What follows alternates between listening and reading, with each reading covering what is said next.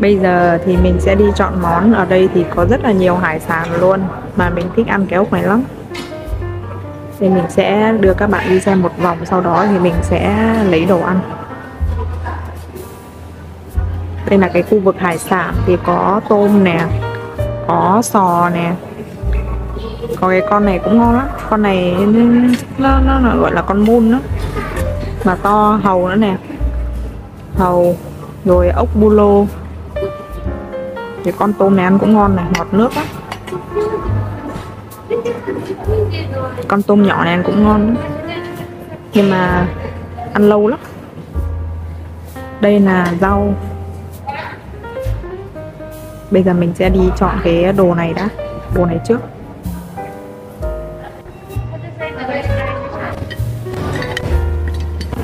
Mình sẽ chọn mỗi thứ hai ba con. Mình thích ăn à,